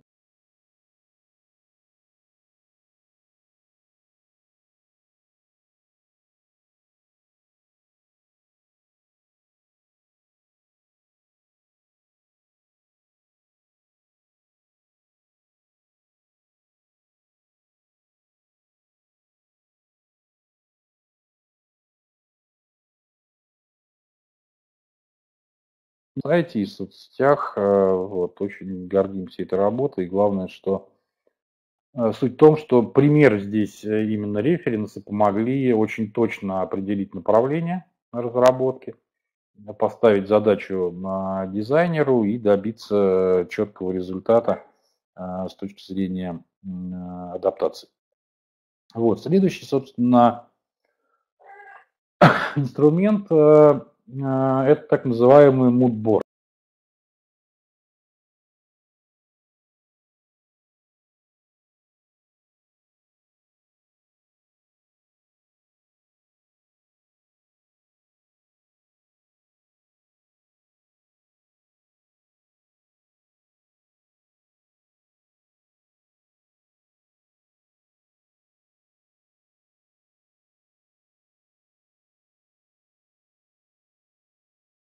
Среды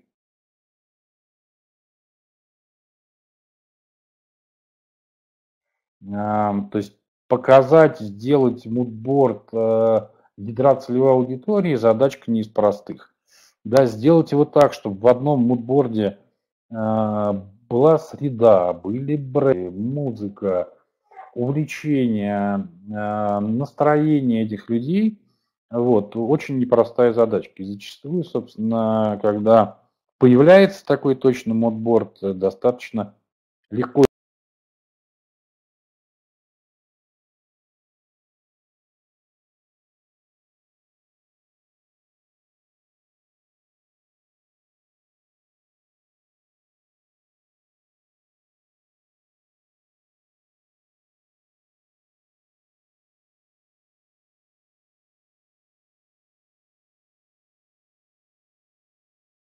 Вот. Каким образом,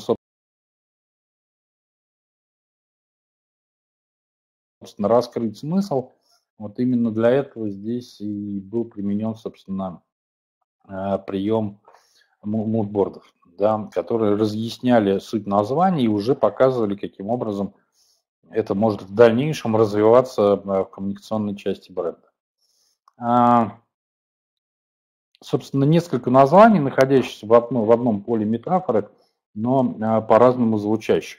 Очень важный аспект, да,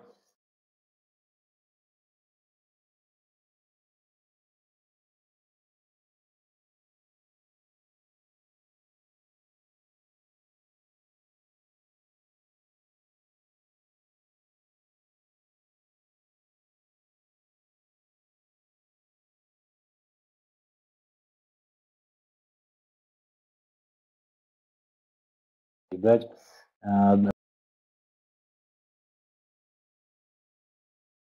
в дальнейшем характере развития, собственно, бренда. Там первый вариант, да, .form групп, да, dot и form, точка, которая формирует потом вид, который формирует целостный образ, да, от точки к форме.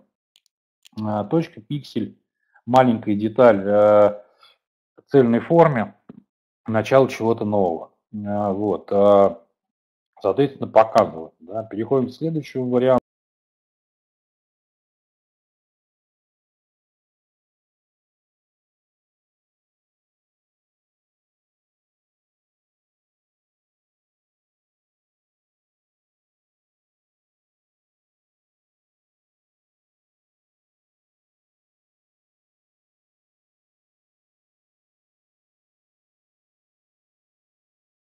И подчеркивает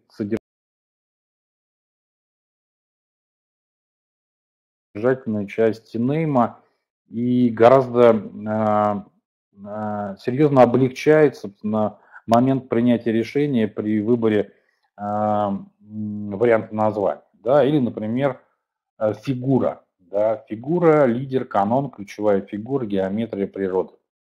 То же самое, показанные образы, опять же таки, помещают э, видение да, будущего бренда уже в определенную среду,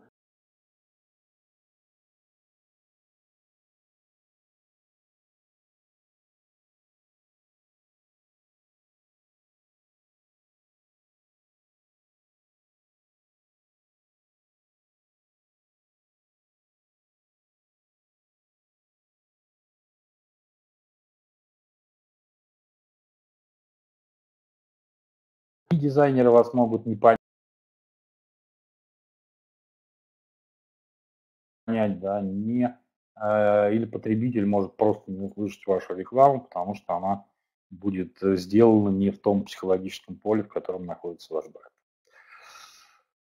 Еще один из инструментов, э, при этом э, э достаточно интересный, он хорош при разработки как э, элементов э, фирменного стиля, идентификации, так и при создании любых рекламных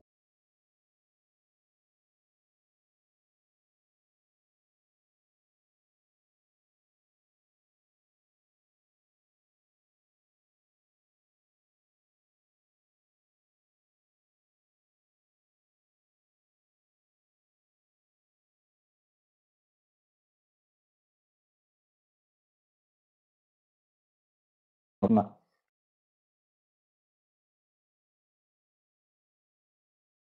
У вас находится метафора, а, и которая позволяет вам выйти как раз-таки на словесное семантическое поле, а, придумать, например, нейминг или слоган, вот, и на визуальную часть.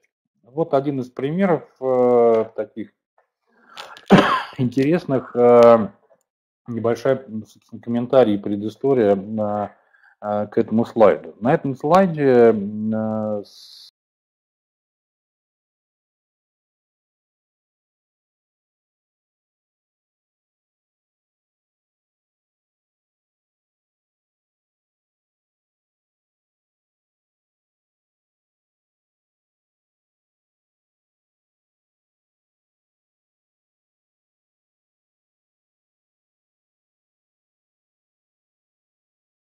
собственно, достаточно а, изысканную рецептуру. А, то есть вот э, если мы смотрим, собственно, верхний верхний ряд, то а, обратите внимание, что здесь не просто обещание бренда, здесь уже не, некое, некий ценностный национальный язык, который гораздо легче развивается с точки зрения имиджей при скрещении с конкретной метафорой да, с пылу с жару.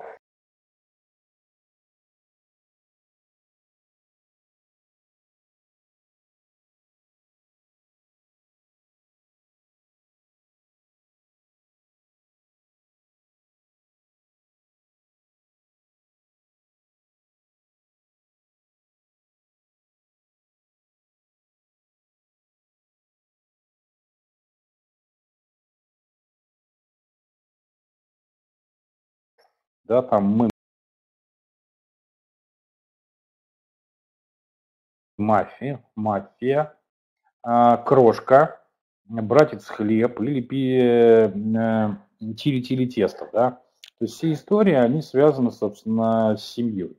Мы видим, каким образом, собственно, с пылу жару может быть там маленькая булочка, сравнивая с ребенком, и когда мы говорим, что на любой вкус у нас появляются, собственно, фотографии с различными э, членами хлебной семьи. Вот. Или зона волшебства. Да, тут же прекрасные нейминги Магин, Рекс, Пекс, Кекс, э, ловкости рук, э, хлебница-волшебница, чудо-хлеб. Да, это нейминговое поле. То есть, э, еще раз повторюсь, один из главных инструментов э, в брендинге мы считаем как раз-таки метафору. Даже не инструментом, а сердцем бренда, которое позволяет как раз-таки добиться а, той самой идентичности, о которой мечтает многие. Если брать, например, впрямую определение идентичности, это отождествление. Метафора как раз-таки отождествляет реальный мир а, с общепонятным нереальным, позволяет, собственно, в дальнейшем причесать все остальные смыслы и, э, главное, создать целостный образ. А, волшебство, да, прекрасно видим, что с пылу с жару, тот самый фокус э, неожиданный, да, и моментально у нас появляется уже знаковая форма. Если к нему прибавить, собственно, там э, Rex Spex Kex, вполне может получиться уже интересный там логотип, вот, и так далее. Ну и ювелирные изделия тоже, третья область метафоры. Что хочу сказать по поводу э, дополнительно к этому инструменту. Значит, ключевая задача не мыслить в данной категории э, там, видеороликами или какой-то там э, длинной рекламой. То есть вы берете и компилируете область основной ценности, то есть того поинта, на котором разговаривает бренд, и конкретной метафорой. Получаете благодаря этому краткий образ знаковый, да, который может быть решен как э, в пиктограмме, так и фотографии и, прочее, прочее, прочее. Посмотрите внимательно, да. То есть мы, условно говоря, дальше развивая там, например, рекламную кампанию и рассказывая про конкретные ценности, можно спокойно это визуализировать. Ну, представьте, да, что вы действительно взяли булочку и завернули, собственно, э, в конверт салфетки и там, не знаю, соску воткнули. Да, вот вам конкретный образ того, что у нас всегда там молодая, свежая продукция. А, вот. И э, вы моментально визуализируете, не просто вы говорите, что там свежая выпечка, да, а визуализируете языком метафоры очень понятно, собственно, все э, ваши заявления. Так, немножечко мы с вами задержимся, потому что Первая часть у нас провалилась из-за технических неполадок. Вот. И я бы хотел э, дать еще один мощный инструмент, один из самых э, мощнейших, который мы используем очень часто. Это как раз-таки э, метод архетипов, да, который в свое время изобрел господин Юнг. А, вот. Э, и в дальнейшем одно из крупных рекламных международных агентств внедрило а, систему архетипов э, в практическую маркетинговую деятельность. Чем, собственно, хороший, силен метод архетипов? Главная его сила как раз-таки является в его метафорическом подходе. А, то есть фишка заключается в том, что сам архетип а, является а, некой метафорой, метафорическим полем определенных образов и позволяет, собственно, раскрыть ценностные характеристики каждого из типов, да, и очень грамотно, собственно, потом перейти в коммуникационное поле и правильно подбирать сообщения. И действительно, когда мы говорим про э, то, что позволяет нам сделать архетипы, они, э, с одной стороны, хорошо визуализируют э, каждый конкретный тип, с другой стороны, могут помочь добиться очень серьезных результатов, например, при сегментировании целевой аудитории или там целевых групп различных. либо при выявлении ядра целевой аудитории. Также на карте архетипов вы спокойно можете располагать бренды, и они действительно достаточно эффективно, собственно, существуют каждый в своей категории. Если там прямые конкуренты, то их как раз-таки есть возможность определенным разводить на, на разные стороны. А, буквально там две, наверное, схемки очень важных по а, системе архетипов и какой этот инструмент дает, этот инструмент дает возможность.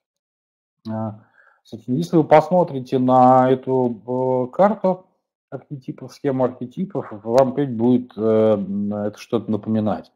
Да, то есть если взять основные э, четыре э, стороны да, данного колеса, что вы увидите, что есть основные ценности да, аудитории или бренда, да, там стабильность и структура. Мне кажется, что-то это напоминает.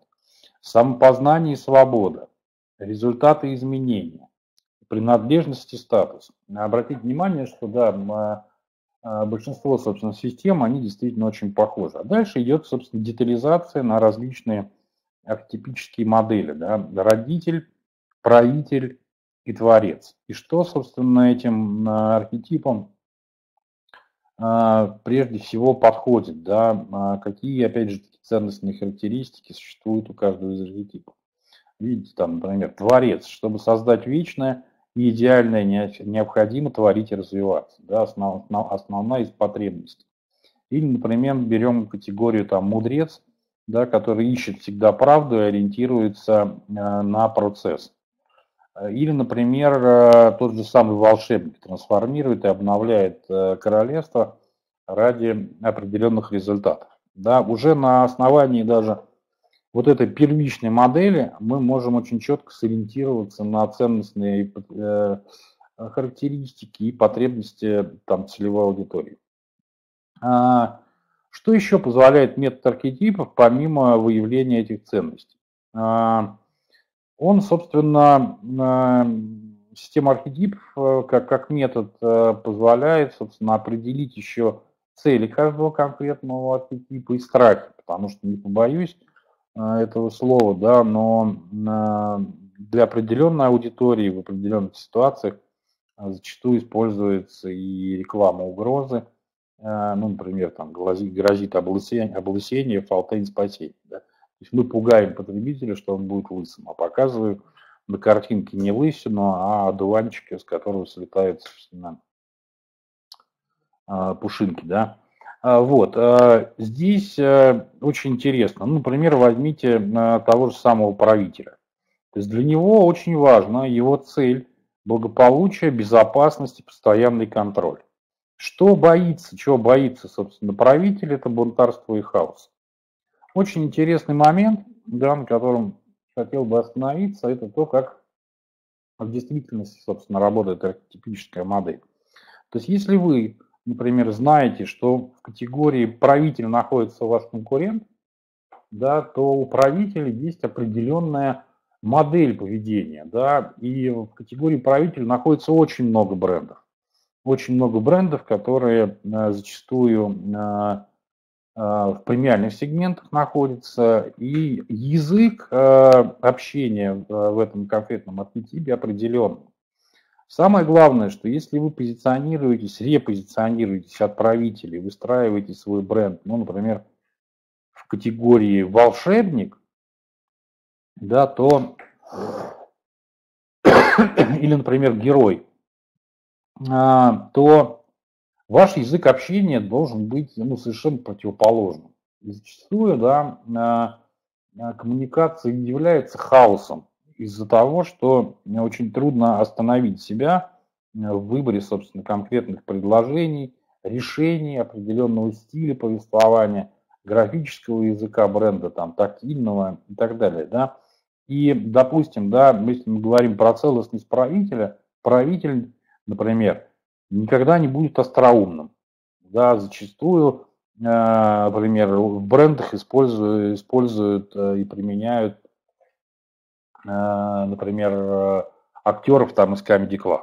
Да, и на мой взгляд, у части брендов, как бы, для части брендов это реальная ошибка. Да, потому что находясь с точки зрения правителя, да, мы не можем, собственно, вести себя определенным образом. Вот. И здесь э, как раз-таки и содержится в архетипе тот инструмент, который позволяет очень эффективно э, находиться в своем индивидуальном поле и соответствовать, собственно, архетипу бренда, соответствовать архетипу вашего потребителя. А, ну и как минимум, да, вот на, в этой таблице уже находятся, собственно, источники поиска тех самых инсайтов, которые содержатся внутри целевой аудитории.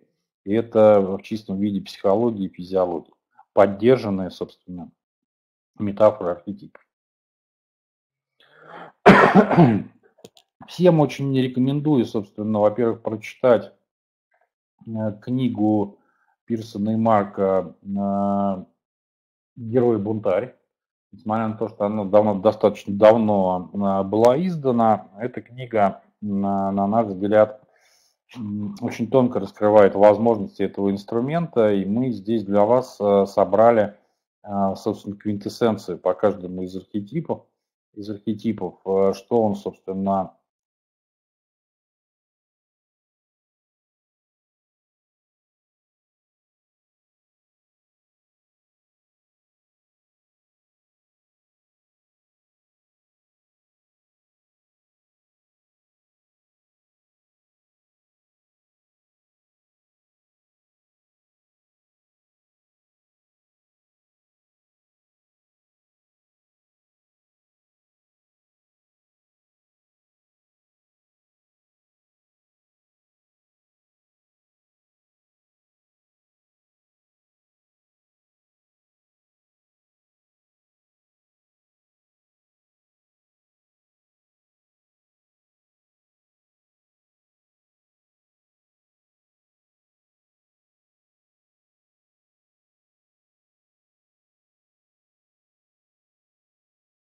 и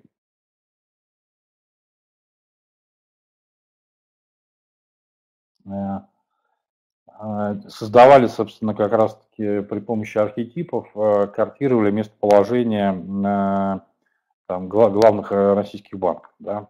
То есть здесь, на этом слайде существуют поля позиционирования брендов, вот, которые были как квинтэссенция вытащены из коммуникации. А, целостные они или не целостные, это другой вопрос, это уже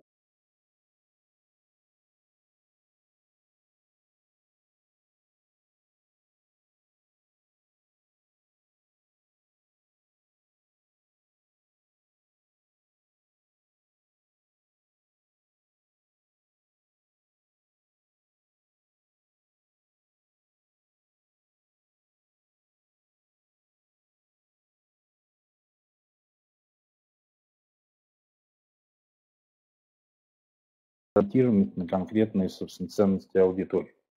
Вот. И а, на следующем слайде как раз-таки можно посмотреть, каким образом мы разложили а, этих участников по архетипической модели.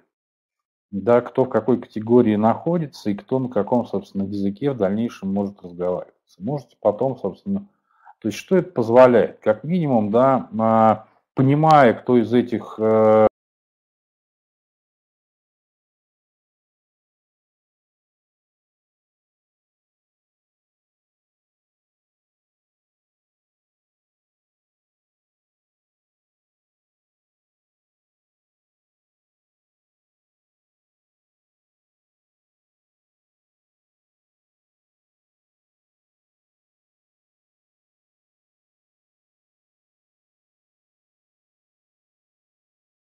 хотим, собственно, а, выстраивать э, коммуникацию бренда.